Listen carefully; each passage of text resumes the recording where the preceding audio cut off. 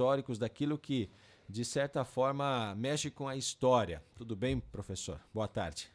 Então, boa tarde a você, André. Também o Cristiano, né? enfim, é toda a nossa comunidade ibirubense que nos escuta, nos assiste. Não só ibirubense, né, Andrei, mas, enfim, a nível de região, a nível de estado e além fronteiras, vamos dizer assim, né? Acho que tu falasses bem desta, desta questão aí do, do acompanhei também a, a, a tua notícia, né? O, o caminhão do Andrino eu já conhecia do Reinaldo, a gente já tinha, eu já tinha visto é um ele. Muito... É, eu já tinha visto ele numa exposição e até a gente, né, enfim, tem uma amizade, a gente conversa bastante com ele. Mas eu acho que também comentar, né, André, e fazer um parabenizar vocês, né? Eu, eu sempre digo nós quando, quando, quando a gente ocupa esses espaços, né? E, e graças a gente tem essa a liberdade de ocupar todos os espaços dos meios de imprensa de Ibirubá. Uh, e eu sempre procuro, eu sempre procuro também valorizar o trabalho de vocês. Né? Eu já fui imprensa por, por, por alguns anos, tenho uma admiração muito grande. Espero um dia poder voltar. Eu sempre digo, né? dia que eu não tiver mais nessa lida cristiana de política, eu espero voltar, porque é um espaço muito legal. Tu entendeu? Então, mas por enquanto não dá, porque senão a família, né? Aí, aí já vai complicar, né? Entendeu? São muitas coisas e, e tem muito isso, né? Eu saio de tarde e vi o Andrei lá acompanhando a final do nosso, do, do nosso campeonato da Copa Ibirubá. Né? E claro, né, o, o Andrei agora tá levando o filho dele junto, então ele já, né, porque porque também tem isso, né? Eu acho que a gente precisa, eu sempre digo, nós que estamos nesse meio, muitas vezes a gente deixa a família da gente de lado, né? Eu não vou dizer de lado, mas né, num segundo plano para você atender uma outra atividade.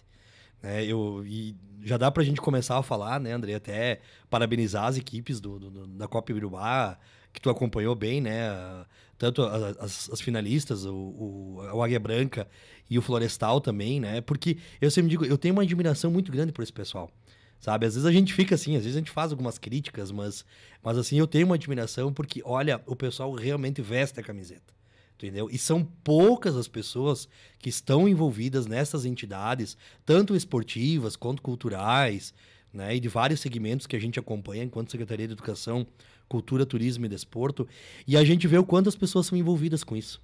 E isso, eu, eu sempre digo, a nossa comunidade ibirubense, ela é uma comunidade forte justamente por isso. Porque nós temos pessoas que muitas vezes largam do, da, da, sua família, né? Ou deixam a sua, segunda, a sua família em segundo plano para cuidar de uma entidade. Então, isso eu acho assim, ó, isso é de uma grandeza, isso é de uma. Né, uh, de, um, de, um, de um poder e uma mobilização muito grande. Abnegação, porque, né? Abnegação, isso aí, porque olha, sabe assim, isso não é fácil, Cristiano. Né, eu, eu, eu sei que o Cristiano conhece bem Cruz Alta, e Cruz Alta talvez não tenha tanto envolvimento quanto tem em Birubá. Eu acho que isso é uma característica que tu pode observar em Birubá. Sabe? Nós temos Lions, nós temos Rotary, nós temos Liga Feminina de Combate ao Câncer. Uh, enfim, são várias entidades né, uh, uh, que trabalham também em prol, em prol da comunidade, do bem-estar. Então, assim, ó, eu, eu realmente fico muito, muito alegre com isso. E, e que bom que nós, enquanto administração municipal, enquanto prefeitura municipal, que a gente consegue ali na frente alcançar e até né, incentivar. Uh, secretário, a gente sabe né, de todo o trabalho, o esforço que a prefeitura faz. O Derli tem feito um trabalho muito exemplar muito aí no DMD, né? E a pergunta que eu faço para o senhor é como levar mais público para esses eventos? Como instigar o público? Uhum. Como mobilizar a comunidade a acompanhar por exemplo, o sábado à tarde lá um público muito pequeno uhum, para uhum. o tamanho do espetáculo, uhum. o investimento da prefeitura, uhum. segurança, arbitragem, estádio, premiação e não tinha quase ninguém lá. Tu sabe, André, que isso também é uma. Eu, eu, eu, acho que dá uma realmente uma, um crédito muito grande ao Derli, né? O Derli é uma pessoa. Eu sempre digo, a gente. E, e eu vejo muitas vezes quando o Vande fala isso, né? O Vande de Souza, nosso secretário, que é que é do São José também, eu sempre, sempre brinco porque eu gosto de ver ele falar, porque ele sempre diz, olha, a gente não faz as coisas sozinho, né? E eu sempre pego muito isso para mim também, porque enquanto secretário de educação a gente não faz as coisas sozinho. A gente tem toda uma equipe, e uma equipe muito grande, às vezes, por trás, que também está preocupado com o dia a dia. E, e, né, e, e, nisso posso colocar o Derli, né? Nós temos agora também o Derli na coordenação do DMD. Temos a Fernanda também Servieri, que agora está junto à Cultura e Turismo, né? Então, e, e, e, falando sobre a questão do Derli, a gente já, já até conversou um pouco sobre isso, porque é, é interessante você ver. Uh, uh, uh, eu não sei se o, se o futebol, né, ele por si só ele tem conseguido atrair tantas pessoas. O que, que eu quero dizer com isso? Tu pega o nosso carrinho de lomba, a quantidade de pessoas que estavam envolvidas ali dentro. O público foi um público fantástico. Né? Uh, uh, nós temos agora um, um, um, torneio de basquete que vai acontecer agora final de semana e já tem não sei quantas equipes inscritas. Isso vai dar um público enorme. Você vai no vôlei, claro, né, devido às proporções, mas você vê um público interessante também no vôlei. E não que no futebol você não veja, mas eu, o que, que eu tenho observado esses últimos anos? O, o próprio municipal de campo, que é feito um investimento enorme, não só por parte do município, mas por parte das equipes, quando é que você consegue ter um público grande? É só nos jogos finais. Então eu acho que isso não é só o município que tem que pensar, mas as próprias equipes também. O que, que eu estou fazendo que eu não estou conseguindo levar o torcedor para dentro de campo? É, sábado tu, tu, tu falastes bem. Eu até vou te dizer assim, ó, sábado até me surpreendeu. Eu até achei um público bom. Até achei que tinha mais carro, na verdade, do que pessoas lá dentro, né? Mas, uh, uh, mas assim, mas eu gostei. Achei um público bem, bem considerável pela, pela mobilização e porque era um, um, uma, uma, uma Copa onde você tinha os jogadores, vamos dizer assim, bons jogadores, mas que você for ver um nível de aspirante, não é um nível principal. Mas 100% da casa é. também, né? Ah, mas aí que tá um detalhe, 100% da casa. Eu acho que isso realmente... Então, por isso que acabou atraindo, e se você for ver, atraiu mais público na final do que muitos jogos do próprio Municipal aonde o nível é um nível bem mais elevado. Então, eu não sei, eu acho que é uma, é algo... Por isso que eu tô te dizendo uh, uh, a gente fomenta enquanto, e, eu digo a gente, nós fomentamos enquanto administração municipal, enquanto secretaria, várias modalidades de esporte. Por quê? Porque você vê como, como é diferente em cada modalidade. Ah, o vôlei você vê as famílias indo, o, o carrinho de lomba você vê as famílias indo, o futebol as famílias não, não, tão, não vão na sua totalidade. Então, o que está acontecendo? Será que de repente aquela, aquela rusga, aquela, aquele grito mais forte, será que aquilo ali não está espantando um pouco as famílias? E isso não é só no amador, isso é no profissional também. Olha olhar os estádios hoje. Poucas vezes no estádio profissional você vê uma família junto.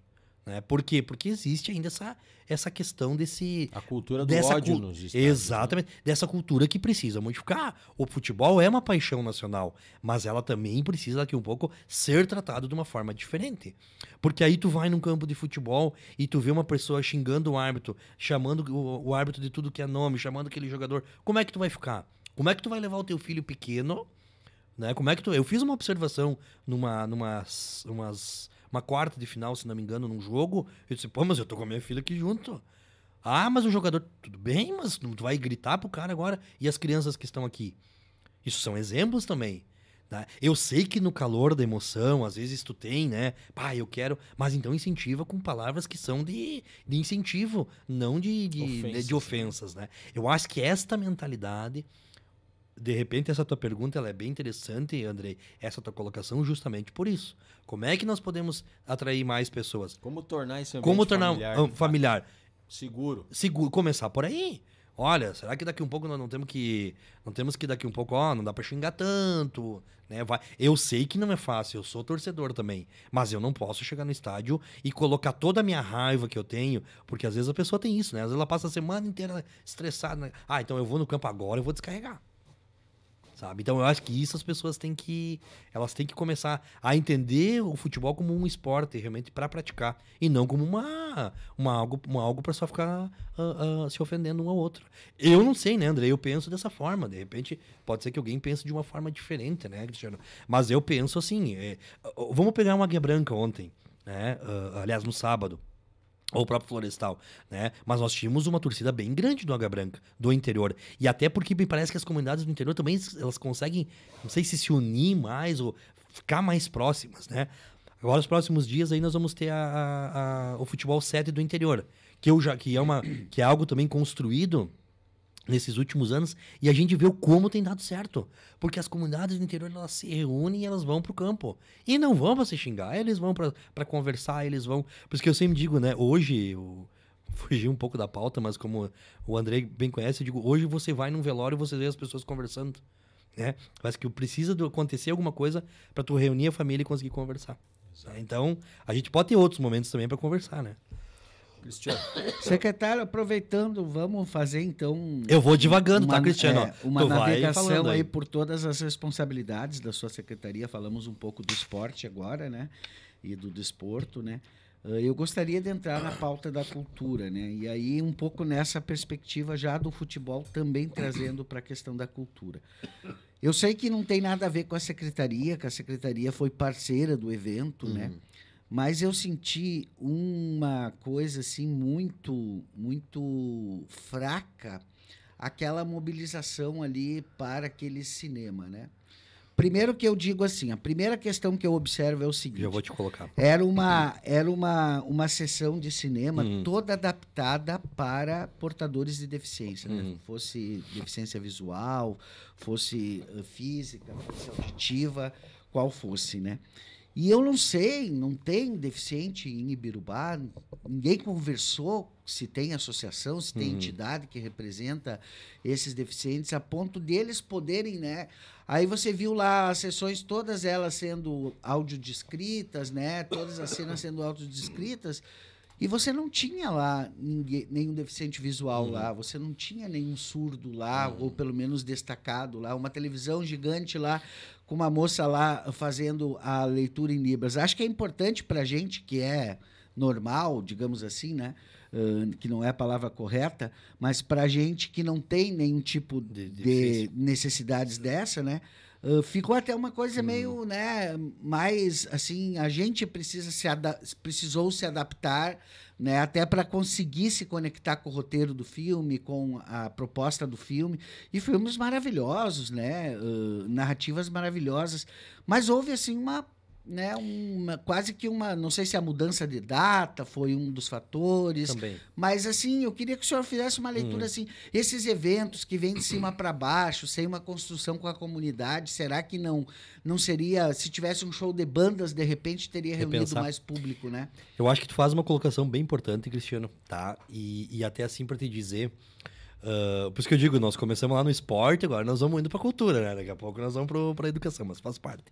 Mas assim, ó, então, uh, o que, que aconteceu uh, mais especificamente nesse, nesse cinema? E até não estava uma noite tão fria, né, Cristiano? Assim, estava uma noite até, vamos dizer assim, agradável, né? Eu, eu até, quando eu pude acompanhar, eu acompanhei, depois eu tinha um compromisso também, acabei não conseguindo ficar até o final.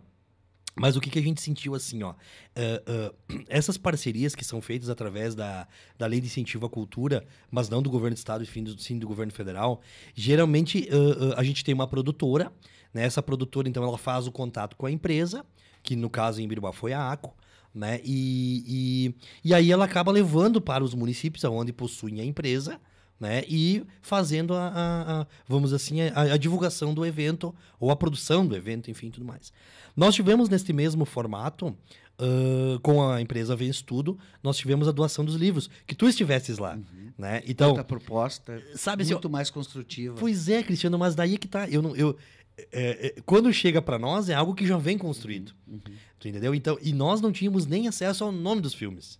Nós só fomos ter acesso ao nome dos filmes um tempo depois, quando praticamente, porque até nós, nós conversamos com a Fernanda, né, que está, que está chegando na cultura e turismo. E a Fernanda dizia, pai, Henrique, o nome dos filmes? Eu disse, olha, Fernanda, não sei, eles também não, não passaram nada para nós. Eles vieram, a produtora veio umas semanas atrás, a gente conversou, enfim, tudo mais, né?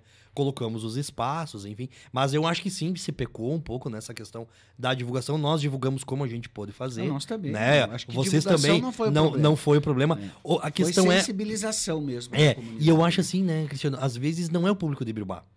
Tu entendeu? Talvez não seja a questão de levar para esse espaço. Talvez as pessoas gostem de ir para dentro da Casa de Cultura e assistir um teatro.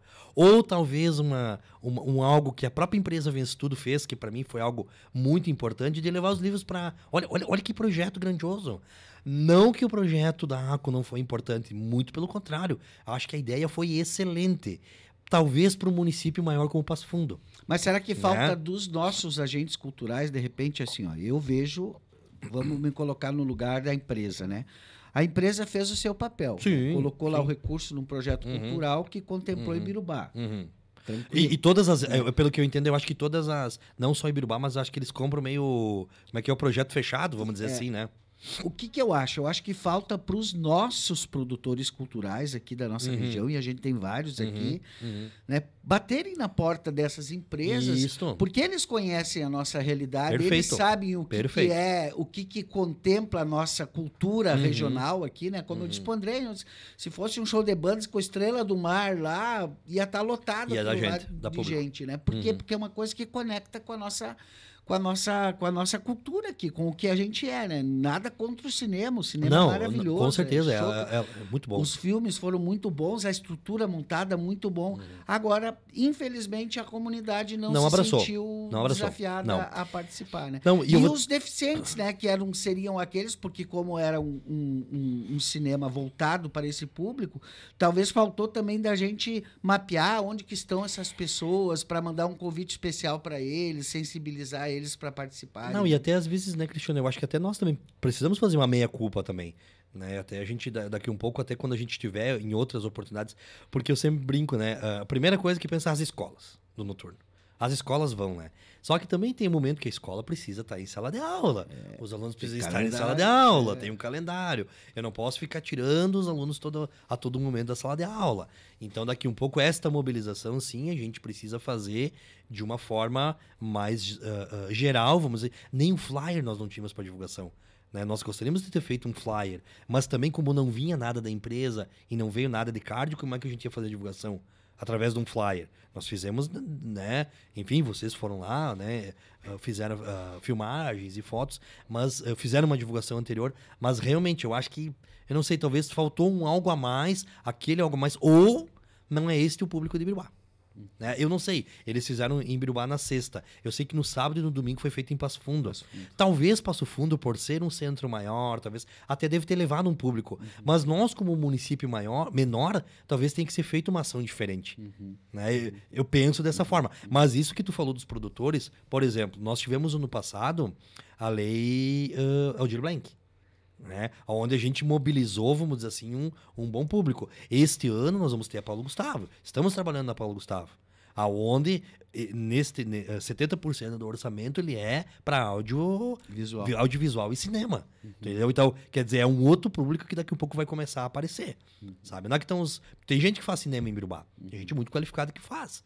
né? Então, de repente, esses são as pessoas, essas são as pessoas que precisam, como tu falou, ir lá e bater na porta da empresa e dizer, olha, aqui está o meu projeto. De repente, eu, ah, eu conheço mais a realidade do município do que uma agência que vem de fora. Nada quando, contra a Sim, produtora que tu sim. falou. Excelente o trabalho. A, a pessoa que veio para cá, assim, uma pessoa de uma. Assim, conversamos muito, de muito bom diálogo. Mas talvez não seja este, né? Não, não, não- seja isto que a comunidade ibirubense espera. E uma questão também que eu presto bastante atenção nessa, nessa questão do- das leis de incentivo à cultura.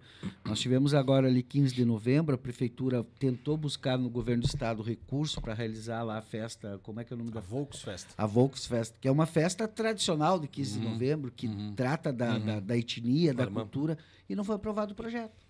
Né? É. E aí, às vezes, um projeto aí que não dialoga com a cidade, que não constrói com a cidade, recebe, vai saber quanto, né, este, nada contra, né, mas vai saber quanto que essa empresa conseguiu captar para tocar um projeto desse, né? É, Daqui a e- pouco 300 mil, 400 mil para muito botar pra- uma multinacional como a GCO dentro do, do, do- como patrocinadora não é qualquer recurso, né?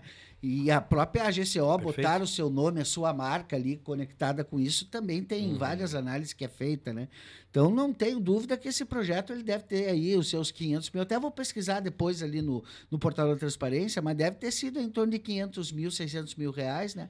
E aí vai e faz o porque o que que eles prestam conta? Eles tiraram algumas fotos ali, Se tiver uma ou duas pessoas, que, tá bom. é, que imprimiu Né? o jornal lá e Uhum. tal, e que o filme aconteceu e pronto. Mas, mas eu sei que a né? tua expectativa, e é que a expectativa nossa também, é que as pessoas da comunidade se sintam, que se, per- se sintam pertencentes àquele projeto.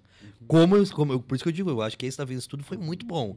Porque o que, que aconteceu? Cara, atingiu as crianças em E cheio. vai ficar. Por exemplo, E vai ficar- e vai ficar agora aqui nós dentro. vamos ter agora em setembro a Feira do Livro, né? Que Isso, é a- outubro. a- a- outubro, né? Que é a feira que agora tem uma perspectiva de ser ainda maior que a última, que já foi Exatamente. gigante, né? Uhum. Já foi gigante a última porque a gente sabe aí ah, do público que esteve, autores e tudo mais. Agora nós temos também, temos aqui dois imortais aqui presentes, né? Também temos a Academia Ibirbense de Letras, que eu acho que agora, uh, empossados, né, os seus, os seus patronos aí, os seus imortais, vai ter um papel a desempenhar também nesta Feira do Com Livro, certeza. né? E já está na hora de pensar, né, secretário, da gente buscar recurso e como, não, de- não querendo se colocar no tamanho de Passo Fundo, mas Passo Fundo achou na literatura também um, um, um, um, um espaço de desenvolvimento, né? E com- começou a transformou a Feira do Livro naquele evento literário que tem hoje ali. Hoje é, É consolidado com sim, grandes autores enorme. internacionais que vêm participar. Por que não Ibirubá também não se tornar uma referência, pelo menos no Alto Jacuí, para a questão da literatura, né? É, eu acho que aí tu, tu toca num ponto bem importante. Nós até, inclusive, a gente fez, né? Nós conseguimos agora sair um recurso a nível do governo do estado, né? E, se não me engano, são... Ah, não, não vou precisar o valor agora, são 30 e poucos milhões que vão ser investidos na cultura. E nós apresentamos o projeto da Feira do Livro, tá? E porque ele era um, ele, ele foi um projeto que ele era específico para as etnias dos municípios, né? E aí o que, que a gente fez? A gente apresentou então, né, como nós fizemos ano passado e vamos fazer este ano, então o trabalho com as culturas. Ano passado nós falamos de todas as culturas que formam o povo, ah, ah, ah, a população do Brasil, né? Até porque eram os 200 anos da independência. Né? E este ano, então, a nossa ideia é focar nos povos que fazem o que fizeram parte da colonização de Ibirubá. É, e aí a gente, neste projeto que foi a nível de Estado, claro, Ibirubá, né, nós temos uma colonização alemã, nós temos uma colonização italiana, mas nós temos, não podemos esquecer dos indígenas. Os primeiros povos que estiveram aqui nessa região foram indígenas. Nós temos africanos. Tanto que É. o nome da nossa cidade É, surge é. Ibirubá. É, eu sempre digo, às vezes tem pessoas que esquecem, ah, mas Ibirubá. Sim, de origem alemã, de origem italiana, mas que tem no seu nome vinculado ao Tupi Guarani, Ibirubá. Né?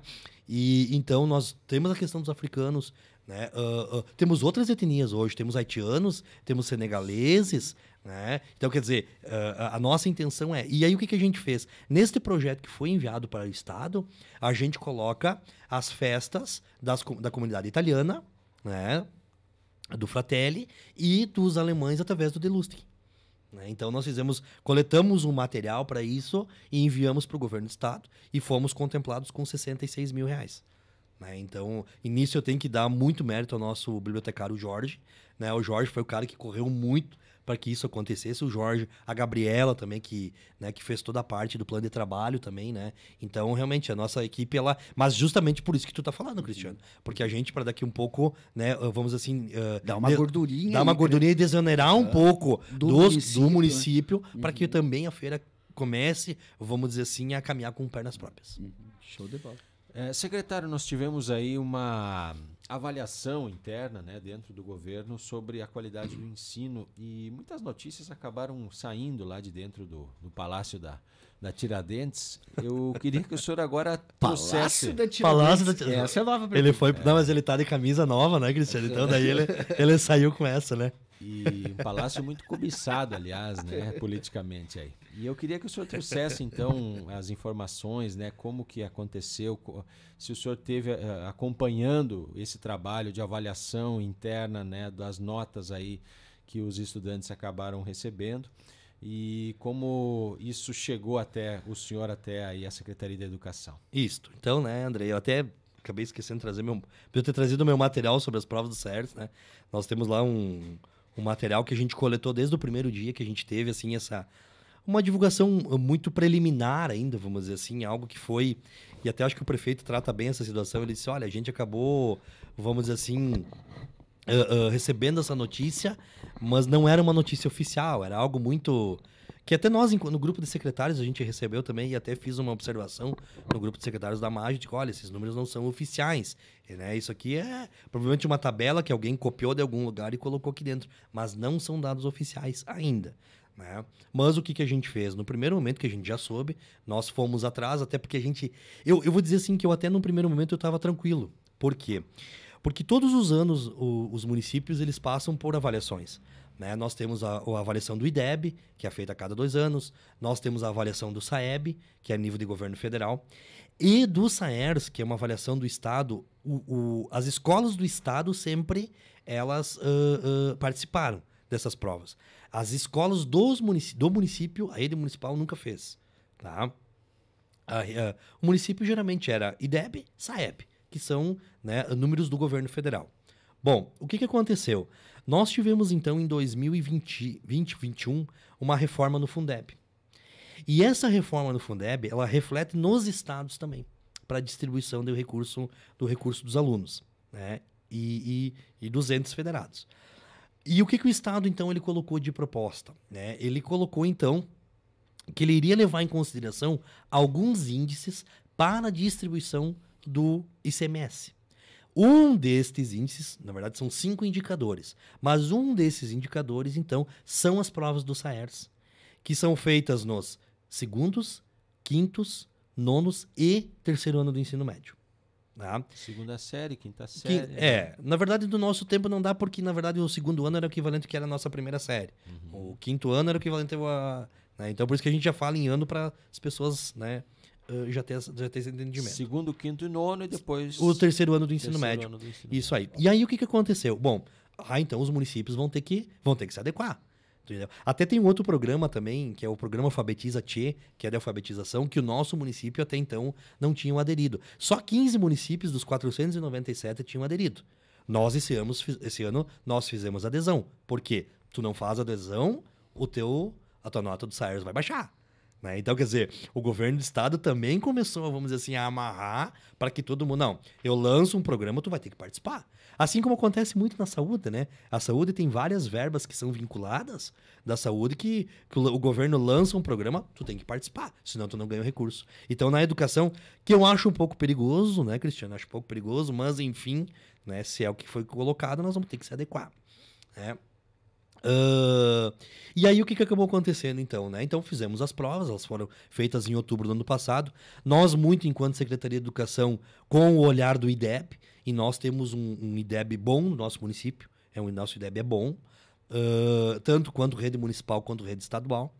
E aí nós tomamos, assim, nos levou um pouco como surpresa quando houve então essa, essa divulgação muito preliminar, nada oficial ainda, mas a gente começou a observar. Logo em seguida, o Estado já disponibilizou para que a gente entrasse no sistema e pudesse olhar as notas. E esse sistema, para entrar, ela só, só entra com o CPF do secretário de Educação. Tu entendeu? E aí nós fomos olhar, fomos ver algumas coisas que estavam erradas. A gente, inclusive, nós temos uma assessoria de uma empresa de Nometoc, que é um, uma pessoa assim muito. Né, que assim, uma, é, é uma pessoa muito. Uh, uh, de muito conhecimento é, e ele também nos deu toda a assessoria e diz: olha, acho que nós vamos ter que, vamos ter que observar o que está acontecendo. E aí começamos a olhar alguns e olhar e observar que foram feitos algumas, alguns erros nessa prova. Tá? Como eu vou te dar um exemplo assim, ó. Até para as pessoas poderem entender, porque eu sei que às vezes a gente acaba sendo um pouco técnico e as pessoas não entendem. Mas vou te dar um exemplo assim, ó. Uh, uh, Todos os secretários municipais dos 497 municípios assinaram um documento para a Secretaria de Educação do Estado dizendo que eles poderiam tirar do censo escolar os dados das escolas. Por quê? Os dados do, das escolas estaduais eles já tinham. Todo ano eles fazem a prova. Mas dos municípios eles não tinham. Então o secretário assinou, eu assinei um documento dizendo que eles poderiam tirar os dados do censo. O que, que é o censo? O censo é onde aparece o número de alunos que eu tenho na, na rede. Né? O número de alunos que eu tenho no primeiro ano, no segundo ano, enfim, todas as escolas. Então isso já tá? não tinha sido feito. É, aí que tá a questão. Aí nós vamos ver, tá, mas daí lá na hora da prova, lá no, no, no resultado, tinha lá um, um algo chamado previstos. Tom, previstos. Aí tu pega uma turma, eu vou pegar a escola Alfredo Brenner, tá? Escola Alfredo Brenner, o nono ano da escola Alfredo Brenner tem lá, sei lá, acho que são 11 ou 12 alunos. Previstos 30. Tá, mas onde é que eles tiraram previstos 30 se só tem 12 alunos? É, quer dizer, são mais de 50% de alunos que não fizeram a prova. Então, automaticamente, a tua nota vai baixar. A média baixa. A média baixa, mas é claro, né? E aí nós começamos a olhar outros erros. E aí a gente via que tinha nome, nome duplicado, aí a gente via que tinha uh, só o nome, não tinha o sobrenome da criança. Assim, gente uns erros muito grotescos. Muito grotesco. Aí o que, que aconteceu? Aí fomos a Porto Alegre, né? Conversamos com a Salete Albuquerque, que é a pessoa responsável pelas provas, diretora responsável pelas provas em Porto Alegre, na Seduc. Uma pessoa, assim, que nos recebeu muito bem. Até aí no, no dia que nós fomos, ela disse assim: sabe que existem mais de 2 mil recursos dessas provas. E aí até ela me confidenciou, assim, que ela disse que, que que num primeiro momento ela foi contra essa questão de já começar a limitar o recurso do ICMS, porque ela sabia que ia dar problema nisso, né? Até porque quem executou e quem fez as provas não foi nenhuma empresa do Rio Grande do Sul, foi uma empresa de Minas Gerais. Né? E aí o que, que aconteceu? Aí eu fui, tá, mas esses previstos são da onde?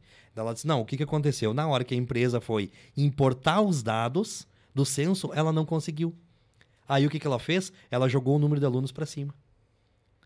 Eu disse, pô, mas daí vocês vão penalizar? Ela disse, é, essa foi a política da empresa. Né? Jogar o número de alunos para cima para que todos esses pudessem fazer. Mas teve essa avaliação em Birubá? Teve, em outubro. Teve. Teve, não. A avaliação não foi feita só em Birubá. Ela foi feita nos 497 municípios do estado do Rio Grande do Sul. E qual foi a nota que nós tivemos? Não sei, porque nós não temos uma nota finalizada ainda.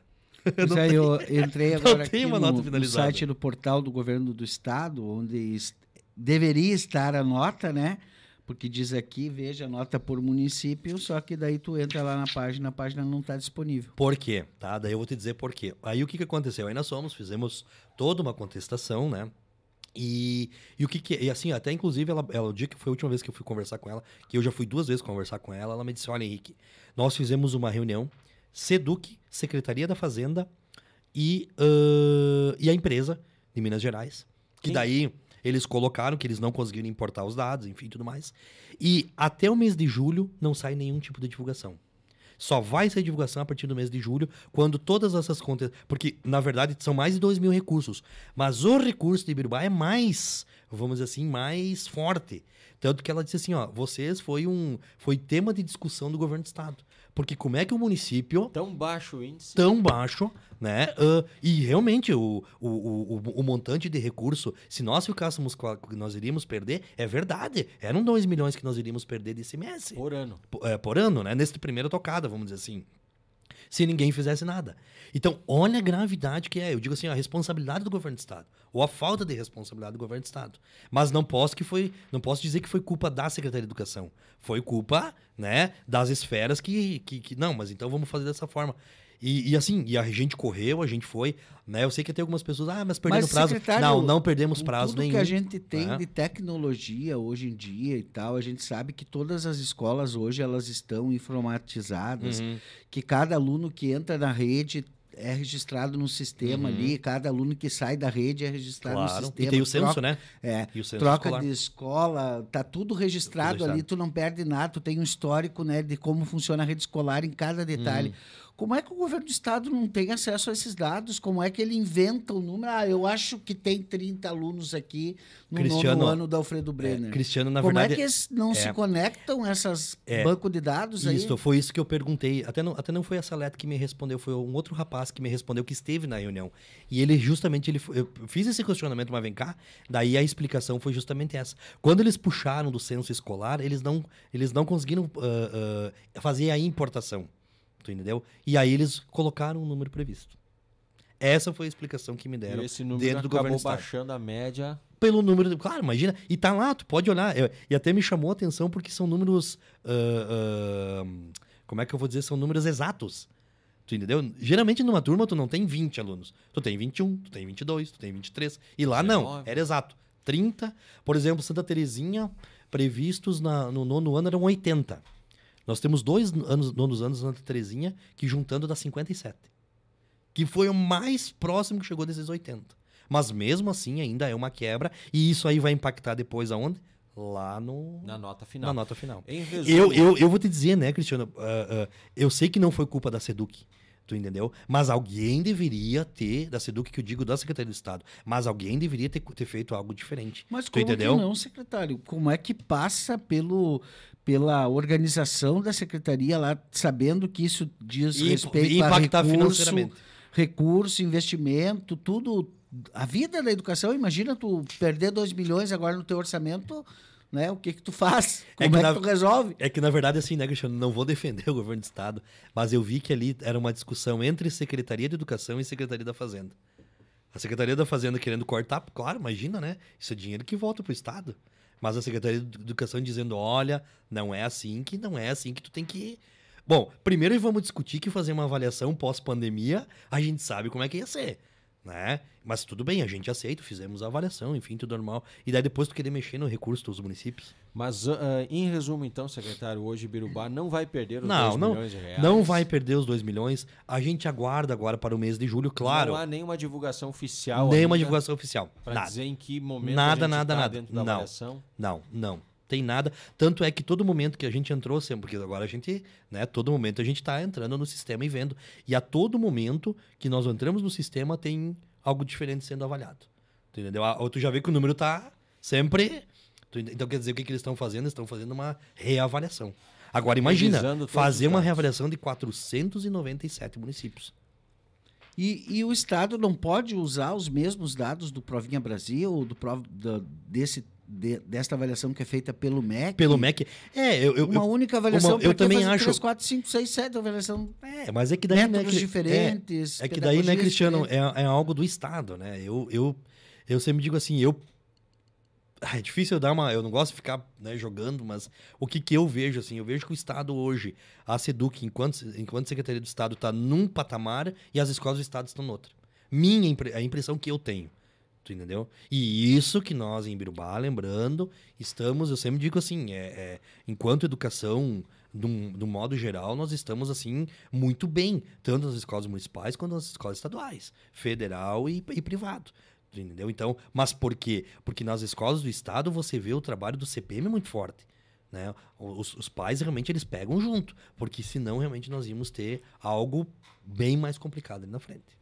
Nós temos abraços aqui para o secretário. A Maria de Lourdes Machado manda um abraço aí, ela e o Silon. É, dia dos namorados hoje, ela escreve aqui, tá certo. Um abraço aí, Maria de Lourdes. Abel Grave também está nos acompanhando, manda um abraço aí para o secretário Henrique.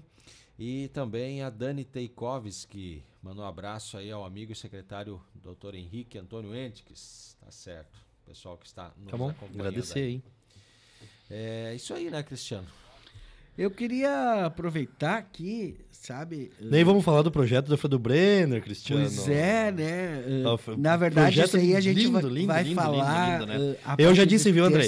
É, eu sexta-feira não vou estar. Eu disse pra ela, tu pode dar um jeito de transferir o teu. Que eu quero acompanhar o projeto, né? Terça-feira que vem, então, estaremos lá na escola O pessoal me fazendo a- pergunta aqui, Cristiano, amante também pode receber hoje um Feliz Dia dos Namorados? Eu não sei. Pois, olha, Aí, eu, não má tenho, figura. eu não tenho amante, mas. É a hora. pergunta é- Nós estamos livres, olha. Cada um mas fale por si. Eu né? acho que pode, né? O, amor não tem fronteiras, né? Já diria o poeta, né? o problema vai ser Mas depois, o né? oficial, né? É, Daí tu, não, tu- aí- tu- tu analisa aí. Olha só, secretário, eu sei que o senhor está aqui na pauta da educação tal. Eu queria ainda, para finalizar essa questão da educação, o que está de previsto em 2023 de investimento? Né? A gente. Ãh, o prefeito Abel já veio algumas vezes aqui, falou de uma escola de educação infantil. A gente vê que teve aí agora o concurso público Uhum. né, para os zeladores. Inclusive, eu perguntei para o secretário Wagner no dia que eu entrevistei ele sobre essa questão que veio pós-Blumenau lá, Uhum. o que, que ficou de concreto disso, porque o prefeito assumiu publicamente que ia abrir um processo de, de escolha para contratar pessoas para fazer meio que uma segurança mista lá dentro das escolas, dá, dá um pouquinho mais de segurança para a escola. Eu tive lá no Alfredo Brenner agora por, por conta do projeto e já vi que a escola está investindo lá, né, fechando mais a escola, erguendo a tela para cima lá, né, colocando. Então tá todo mundo nessa. Eu queria que o senhor entrasse nesse tema, como é que ficou o pós aquilo, o que que vai ter efetivamente de investimento ah, depois do episódio de Blumenau lá, que a gente não precisa nem resgatar ele, só para dizer o que que vai ter. E também essa questão aí do concurso, né? Tiveram vários professores, enfim, né, que foram aprovados no concurso, zeladores também, ah, passado o prazo do recurso, que eu acredito que termina agora no final de junho, Uhum. né? Se esses professores já vão estar disponíveis para a rede ainda nesse, Claro. nesse, nesse bimestre aí. Claro, acho que a partir de agosto, se não me engano, a gente já vai estar recebendo. E são vários investimentos, né, Cristiano? São milhões de investimentos. Eu sempre digo, desde, desde né, ah, ah, vamos assim, já desde o início do governo do prefeito Abel e, e mesmo o prefeito Carlos antes também fazia bastante investimentos.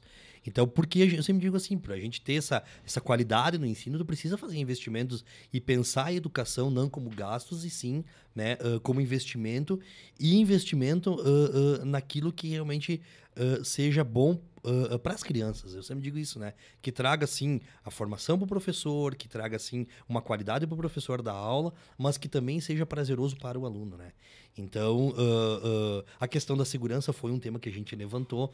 Nós hoje temos praticamente em todas as escolas as que não têm monitores. Então, foi algo que a gente fez assim de imediato, na verdade, a colocação dos monitores. As que não tem, a gente fez, está fazendo monitoramento através de câmeras de vigilância. Mas eu sei, a gente está pensando, né? Uh, uh, né? E esses uh, monitores, eles estão em desvio de função? Não, não, não, não. Eles são da empresa terceirizada. Uhum. Eles são da empresa terceirizada. Então, né? mas a gente está vendo aí, nos, provavelmente nas próximas semanas, se vamos, vamos continuar dessa forma. Temos um, um, um pensamento com a empresa Geatel também, que não consegui dar atenção ainda nas últimas semanas, mas eu vi que eles já me mandaram algo também em termos de segurança, né? Para que a gente possa, né? Tomara que nunca aconteça uma situação assim. Mas essa foi uma situação que serviu de alerta, né? Então a gente precisa também. E, e até não só, eu sempre digo, uh, essa ideia do botão antipânico que a gente quer colocar nas escolas, talvez eu disse perfeito não seja só uma ideia de segurança uh, uh, externa, mas algo interno também. Né? Nós, nós tivemos recentemente uma criança que, que esteve em estado de convulsão dentro da escola. Saiu a diretora lá com a criança dentro do carro, se mandando para um posto de saúde. Uhum. Então, se tu tem um botão antipânico, daqui a pouco você aciona até para os bombeiros poder chegar naquele local. Então, eu acho que a gente também precisa, precisa pensar nessas outras coisas que acabam acontecendo no cotidiano da escola. Uhum. Uhum. Perfeito. Não sei se, né, Cristiano? Eu acho que sim. Uh, para finalizar aqui, a gente entra sempre na pauta política, né, Cristiano? E o secretário Henrique aí, enquanto um homem também forte do Partido dos Trabalhadores aqui em Ibirubá, pode nos trazer também aí uma leitura sobre o atual momento do PT e o futuro também, né? O que o PT pensa para frente, quais são as alianças e para que lado, né, dessa política ibirubense o PT está tensionando. Então, como é que faz essa, essa leitura hoje, eh, professor? Vou mudar bem agora de assunto, né? Vamos, vamos para outro lado, mas é um lado que a gente gosta Mas também, eu queria né? botar um pouquinho de pimenta oh, nessa pergunta do André. Posso? Pode, claro. Uh, dá uma temperada. É, dá uma temperada. Saímos da educação agora, né? Toca aqui, agora né? já sai. Uh, eu queria perguntar para o senhor, assim, eu tenho ouvido bastantes comentários das lideranças partidárias, tanto do Frentão quanto de outros partidos que não hum. fazem parte do Frentão, né?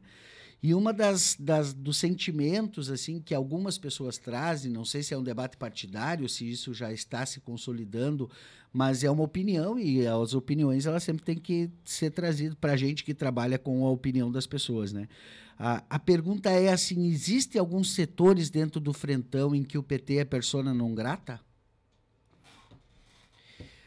Uh, então, assim, agora não fala mais do secretário de Educação, e sim né, o, o professor Henrique, que foi candidato a vereador pelo Partido dos Trabalhadores, que estive dois anos Inclusive na é Câmara. é citado por alguns aí como o nome do PT para apresentar a majoritária. É, uh, que sempre a gente vai ter, eu acho que é bom que as pessoas entendam isso, né? Nós fizemos uma votação dentro daquilo que, daquela estrutura que nós tínhamos enquanto governo federal, uma votação boa, que nos deixou bastante contente. Claro que a gente entende que aqueles votos não são votos do, do PT, e sim votos uh, para o presidente Luiz Inácio Lula da Silva. Goste ou não goste hoje, né? ele é o nosso presidente da República, assim como nós passamos quatro anos pelo Bolsonaro. Né? Então, e isso criou.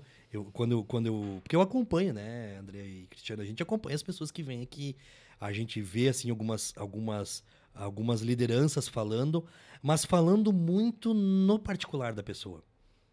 Entendeu? Por isso que eu sempre digo assim, ó, aqui tá falando não o secretário de Educação, mas o, né, o Henrique filiado ao Partido dos Trabalhadores, enfim, tudo mais. Uh, e, e, o que que eu, que que eu tenho observado? Eu não posso falar em nome do meu partido. Eu posso falar na minha opinião. Minha opinião hoje, tu me dizer, ah, Henrique, mas com qual partido que tu vê ou com qual. E é isso que eu, que eu às vezes eu acho muito forte quando a pessoa diz, ah, o meu partido. Não. Eu não posso falar em nome do meu partido, eu posso falar na minha opinião. Ah, a minha opinião que eu tenho é essa. É como, é como eu sempre coloco quando, eu tô, quando nós conversamos enquanto, né, enquanto grupo. Né? Nós temos um grupo que vai para 16 anos de governo. Né? Mas que já esteve, no, né, mesmo antes de estar governo, se uniu, que é o grupo do Frentão. Né? E este grupo, ele permanece unido. Ah, tem divergências? Claro que tem. Qual o bom filho que não tem divergência com o pai? Entendeu? Nós temos divergências. Nós tivemos perdas, né? Tivemos perda do seu Mário, que era uma grande liderança. Tivemos do seu Jaime Fortunato Servo, que foi uma grande liderança. Então, nós tivemos perdas enquanto grupo. Mas nós temos uma capacidade que talvez né, outros grupos não tenham de criação de jovens lideranças. Olha quantos, jo quantos jovens nós temos ali, né? Claro, eu já não me considero mais tão jovem assim, tu entendeu? Mas nós temos lideranças que, que podem alçar daqui para frente e ter uma continuidade no trabalho. Então eu sempre, eu sempre observo dessa forma. E aí, às vezes, quando você vê né, uma pessoa falando, bom, tá falando em nome, não em nome do partido, mas em nome dela. O que, que ela realmente, o que, que ela tem de posicionamento. E aí que eu, que eu volto um pouquinho no que eu falei antes, na questão de prefeitura. Eu sempre digo assim, eu gosto e sempre gostei, quando estive na Câmara de Vereadores, de saber quem é meu adversário, não meu inimigo. Acho que isso que as pessoas não podem confundir. Adversário não é inimigo, tá? Do que se transformou esses últimos quatro anos em termos federal foi isso. Ah, tu não, tu não é da minha ideia, tu não é da minha logia, tu é meu inimigo. Não, não é assim. Tu é meu adversário. O Andrei posta um, um cardzinho ali no fatos jornalísticos ali que tu tem que respeitar a opinião do outro, né, André? É isso que tu precisa fazer. Tu precisa respeitar a opinião do outro. Pô, senão como é que eu vou fazer democracia? Tu entendeu? Então, mesmo nós, dentro do nosso grupo, nós temos que respeitar a opinião. Eu não morro de amores por vários partidos de direita. E as pessoas sabem disso. Mas o que, que eu preciso entender? Que uma eleição municipal ela é diferente de uma eleição estadual e diferente de uma eleição federal. Porque aqui eu falo de pessoa para pessoa. Tu entendeu? Eu já disse esses dias numa reunião isso com o próprio prefeito. Eu disse: olha, tem muito partido que eu também não engulo. Tu entendeu? Mas o que, que eu penso? Eu gosto de você. E o próprio prefeito Abel é uma pessoa que nós temos, eu tenho uma admiração enorme por ele. Assim como tenho uma admiração pelo, por esse prefeito Carlos Yandre. Assim como nós temos pelo ex-vice-prefeito Rogério Remelato. Temos várias pessoas que são pessoas legais, que são pessoas boas e que têm um bom pensamento. Então por que, que eu vou, eu não posso fazer e não posso sentar e conversar? É, penso desta forma, né, dessa forma onde você tem um grupo constituído já há algum tempo, mais de 20 anos, na verdade, e que tenho certeza que é um grupo que vai sentar ali na frente. Tem divergências? É claro que vai ter. E sempre vai ter divergências. Né? E às vezes de um ficar puxando, ah, você vem para cá, ou você vem para lá. Eu sempre digo, né? O, o, né, o nosso saudoso ex-vice-prefeito Mário Romero Pérez dizia: todo aquele que desgarrou do frentão não se deu bem ali na frente, né? então, ele, sabe, ele era. Sabe, são pessoas assim que eu, eu, eu, eu sempre tive uma admiração, né? Assim como tenho pelo, por, pessoas do Partido dos Trabalhadores, né? Eu sempre digo, coloco o nome do Dácio, né? O Dácio é uma pessoa assim que eu aprendi muito nos meus anos de Câmara de Vereadores com ele.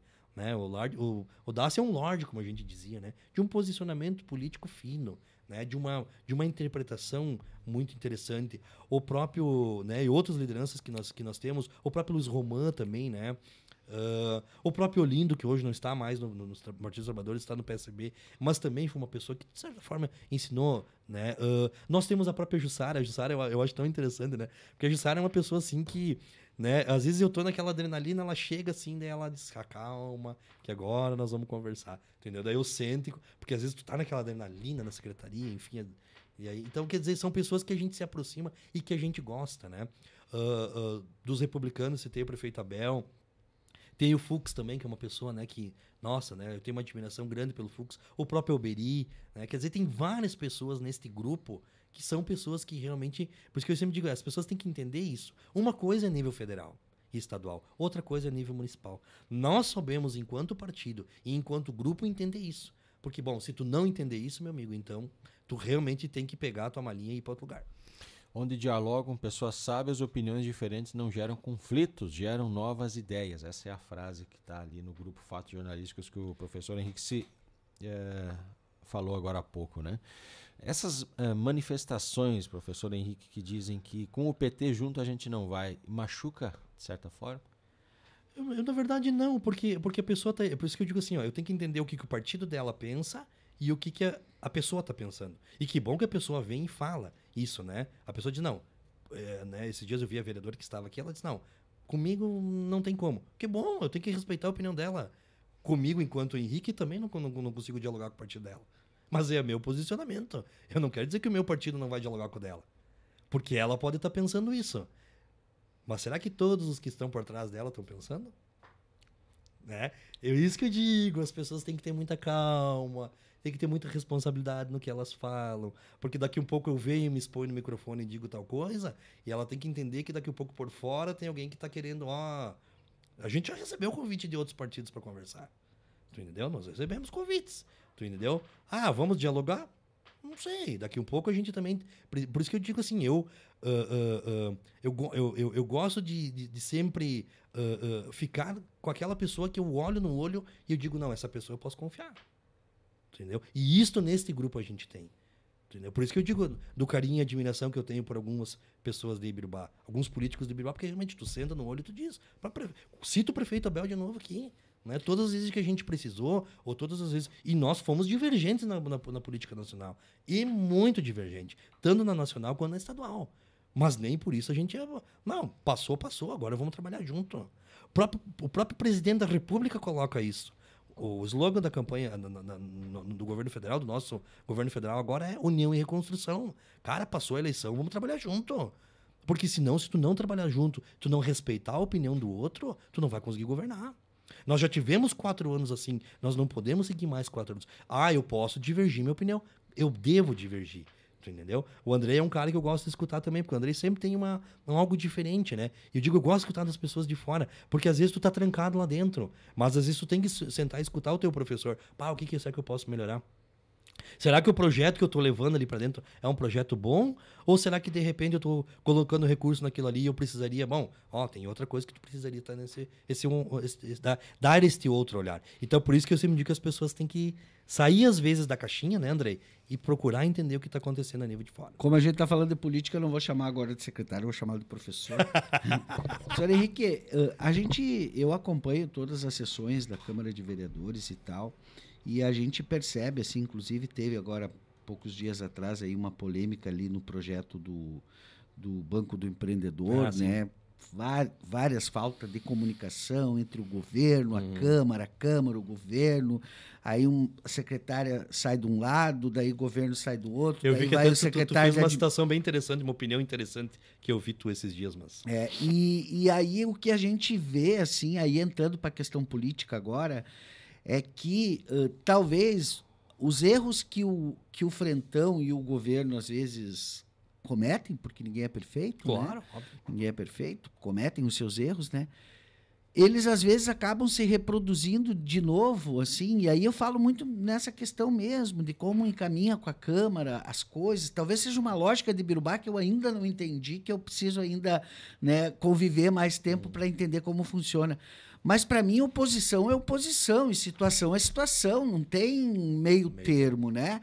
Tu pode votar com o governo? Pode, mas tu vai lá e tu expressa, ó, eu estou votando por isso, porque isso é bom para a cidade, mas eu divirjo disso, disso, disso, disso. E aqui em Ibirubá é uma confusão, tu não, tu vai para a sessão, tu não sabe. Tem dias que toda a Câmara é oposição inclusive a bancada do governo. E tem dias que toda a Câmara é a situação. O que, que acontece? Por que, que isso acontece? Falta diálogo ali na forma de relação política do Frentão com os seus partidos? Porque às vezes eu percebo assim que o PR tem uma caminhada solita lá, o PT faz uma outra caminhada, o PP faz outra caminhada, que são os três partidos representados lá, e tu não vê assim uma articulação, né? Não, vamos pegar esse projeto que é do governo, que é importante, é do nosso projeto, vai nos ajudar, inclusive, a reeleger o projeto e vamos. Tu não vê, aí tu vê batendo no. Eu já vi várias vezes, com todo o respeito que eu tenho ao Fux, né? Eu acho que é um vereador que tem um conhecimento uh, estrondoroso né, de, de tudo que é lei e, e, e, conhece o trâmite legislativo como ninguém, mas às vezes ele joga de, de adversário lá, xinga né, o encaminhamento do governo, né? Aí eu não quer que é o líder do governo, quer que é o da oposição. Como é que se dá esse diálogo? Qual é a, a dor, secretário? Uh, professor, que vocês têm na hora de encaminhar um projeto e de não ter Agora essa, essa ideia e de não ter essa ideia de como, como vai sair, como tu sabe como ele entra, mas tu nunca sabe como é que ele sai. Cristiano, eu vou que responder do, de dois pontos, tá? Vou colocar o primeiro ponto. Eu estive na Câmara de Vereadores em 2017 e 2018 na condição de suplente, onde nós tínhamos 7 a 4. Nós éramos sete vereadores da situação e quatro vereadores da oposição. Então nós não brigávamos entre nós.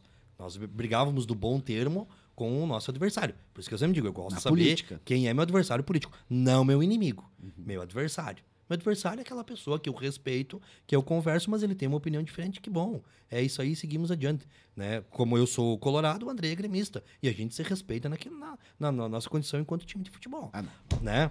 Uh, mas, mas assim, ó, então, E, e, e, mas esses dois anos que eu estive lá dentro, eu, como na condição de suplente, eu sempre falei bem no governo. Sempre. Né? Eu tinha linha de defender, até porque nós tínhamos várias ações. Então, não, a minha linha vai ser de defesa, porque eu tenho que defender aquilo que, que, né, que, que eu que estou aqui dentro, na verdade, e que eu preciso realmente dar esse, esse suporte. Né? Minha opinião. Talvez a, o, o, vereador que esteja lá ele tenha uma opinião diferente, até porque eu estava na condição de suplente. Né? Mas era a opinião que eu tinha sempre de defender o grupo, já pensando sempre naquelas palavras né, que eu sempre ouvia. Olha, nós precisamos estar com o grupo unido. O grupo é assim. Bom, uh, hoje o, que, que, o que, que eu observo assim? Talvez não sejam todos os projetos. E eu vou te citar um projeto que tu não ouviu polêmica. Da questão dos professores, da contratação, do processo seletivo para a contratação de professor. Tu não ouviu polêmica, né? Por quê? Pela condu talvez pela condução do secretário. Né? Não vou aqui, não quero jogar, não, não sei o que, que aconteceu nesse, nesse projeto do Banco do Empreendedor. Algumas coisas eu vi que houve algumas divergências, enfim. Acho que poderia ter, não precisava ter feito todo esse, né, toda essa polêmica, até porque não é eu vou colocar minha opinião, eu não sou uma pessoa de ficar criando polêmica, sabe? Eu acho que as coisas têm que andar, sabe, no seu ritmo, e quando tem a polêmica, você vai lá e termina com ela, né? Mas por quê? Veja bem, nós saímos de uma. Nós saímos, estávamos saindo de um processo de uh, concurso público e fazendo um processo seletivo. Olha para as pessoas entender. Mas alguém falou alguma coisa? Não. Né? Porque o secretário de Educação, junto com a sua coordenação, foi lá, sentei com os vereadores e expliquei o projeto como, como, como, nós, como teria que ser feito. Enfim, é, então, por quê? Para a gente não criar algum envolvimento e até perguntei, ó, tem alguma dúvida, tem alguma coisa? É só perguntar, a gente, a gente é aberto ao diálogo, sabe? Então, é justamente por causa disso, né? E eu penso dessa forma. É, tô, tô te citando um exemplo de um projeto que não deu polêmica nenhuma. Fomos lá, explicamos a nossa necessidade. Todo mundo votou e ninguém nem fez polêmica alguma. Né? Então, de repente, às vezes a forma da condução, mas isso eu não gosto de entrar, porque isso é muito característica de cada um, né? Uh, talvez seja por causa disso mesmo. Né? Então, é, existe uma condição hoje de estar 9 a 2. Nós temos nove vereadores da situação com dois da oposição. E eu ainda brinco, né? De repente, quando tu não tem com quem tu brigar, tu briga com os teus mesmo, né? tu entendeu? Sabe? Então, assim, ó, é, é, é, mas é de cada um. É a característica de cada um. Entendeu? Eu sempre digo, o prefeito, ele, ele, no, ele nos dá muita liberdade para isso. Mas eu sempre gosto, no final, chegar e perguntar a opinião dele. É, ó, prefeito, o que, que tu acha? Não, faz dessa forma. Mas independente sabe? do secretário, né, Henrique, no final das contas, acorda história no prefeito. Porque é, é, o prefeito que é o, o chefe maior daquele projeto, né? Então, por isso, é, a nossa observação é sempre nossa. Como é que pode a base do governo...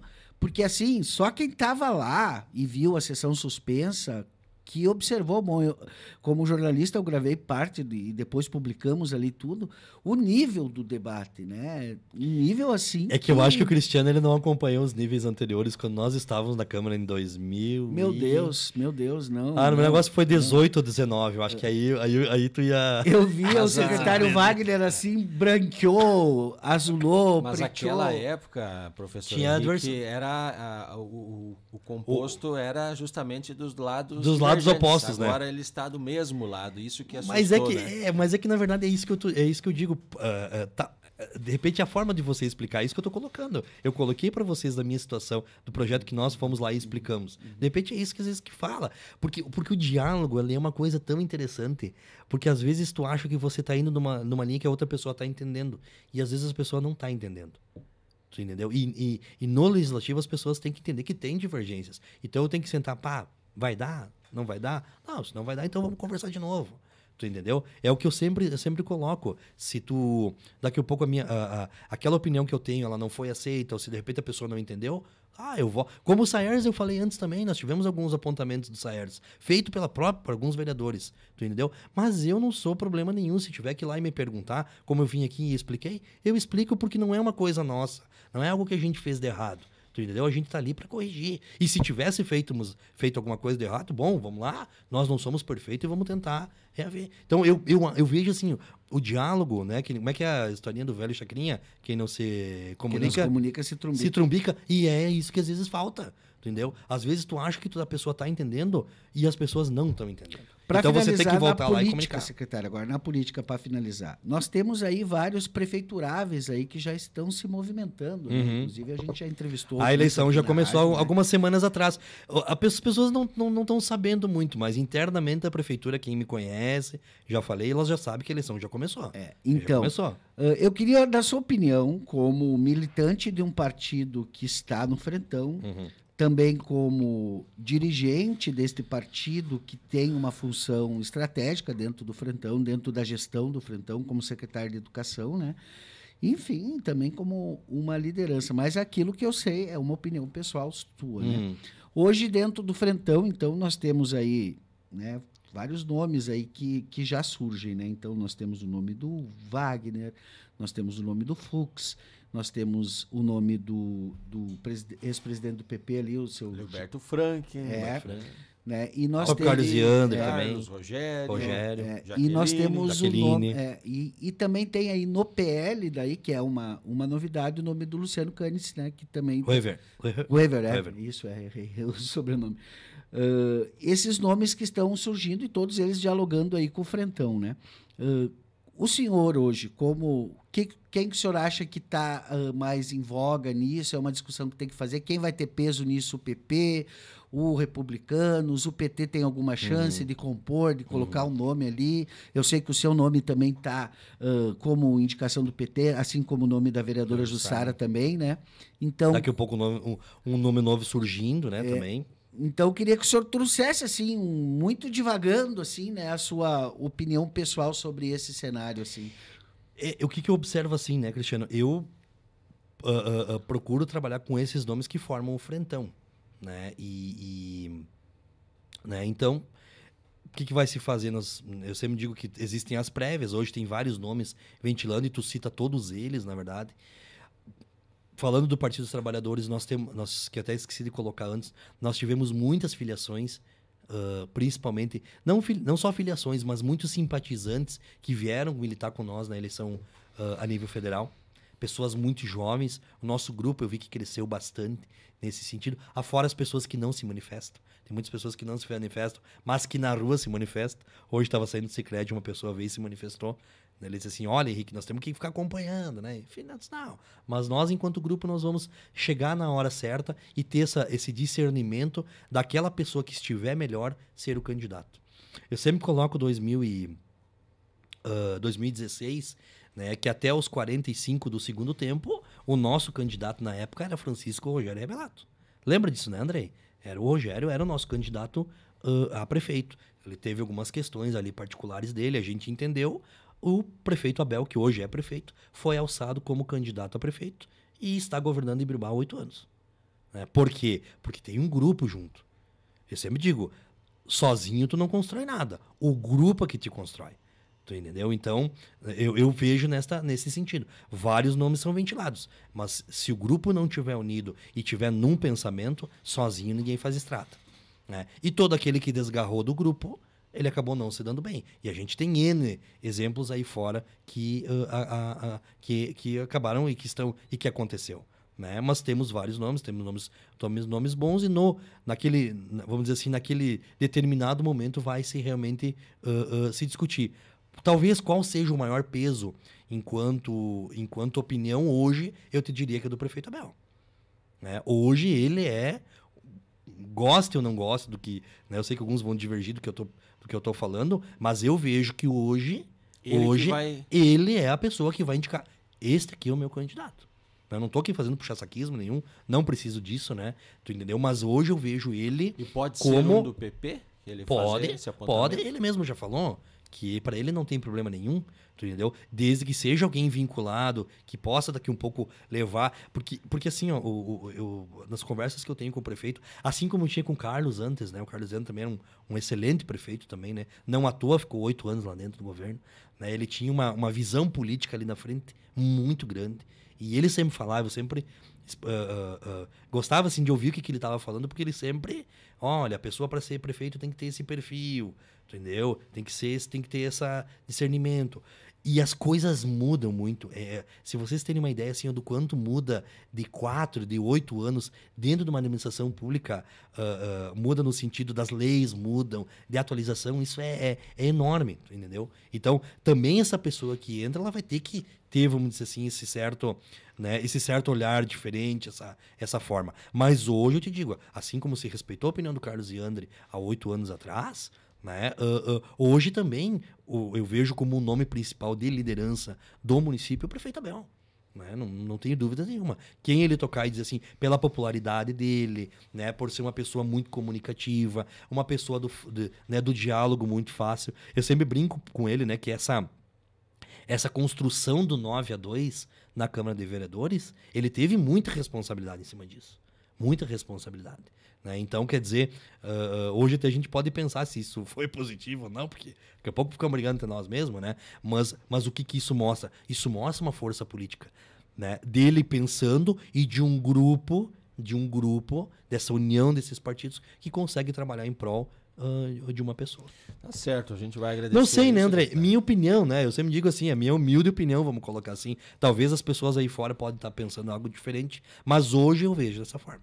A Dani escreve aqui que, é na opinião dela, Dani Teikovski, devemos votar pela pessoa e não pelo partido. Isso aí. Tá certo. É que é uma eleição. Eu acho que a Dani faz um comentário interessante. A Dani é uma pessoa que eu converso muito também, gosto muito dela. Né? Então, assim, justamente por quê? Né? Uh, uh, porque você precisa. Uh, a eleição municipal tem essa característica diferente. Entendeu? Mesmo a eleição nacional, teve muitas pessoas que não votaram no PT, votaram no Lula teve pessoas que não votaram no PL porque nem sabiam quem é que era o PL. Votaram em quem? No Bolsonaro. Né? Então, e a eleição municipal ela é mais, vamos dizer assim, mais. Ela tem uma característica mais individual. Porque aí é tu, é a pessoa. Ah, eu posso não concordar com o teu partido.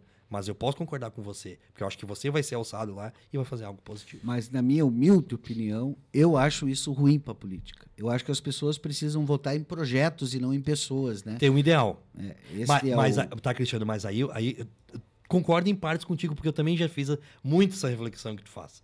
Entendeu? Muito essa reflexão. Mas eu vejo que talvez essa pessoa ela consiga desenvolver o projeto, porque ela tem que entender isso. Ela tem que entender isso. A pessoa, o que eu digo, o candidato. O candidato tem que entender isso, que ele tem um ideal, ele tem um partido que ele precisa, ele tem aquela ideologia, e ele precisa seguir aquilo ali. Muito bem, o bate-papo tá bom aqui, secretário. A gente vai agradecer a sua presença e sempre que precisar estamos aí com os microfones abertos e também o jornal Altiaqui aí com a sua redação à disposição. Tá bom, te agradecer, né, Andrei, agradecer pelo espaço, você também, o Cristiano, né, uh, uh, e sempre colocar aquilo que eu coloquei, que eu frisei lá no início, né? Esse trabalho, vamos dizer assim, importante de vocês, esse importante de, trabalho de divulgação, né? Que sempre realmente é muito, muito importante. Legal, vamos para um rápido break aqui. Na sequência da programação, a gente vai apresentar o nosso novo colega da redação integrada.